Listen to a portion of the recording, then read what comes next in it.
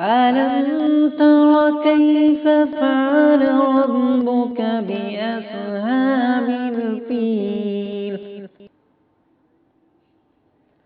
ألم يجعل كيدهم في تضليل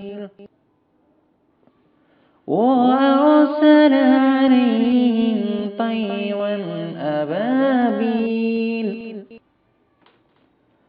ترميهم بهزارة من سزير فجعلهم كعصف مأكول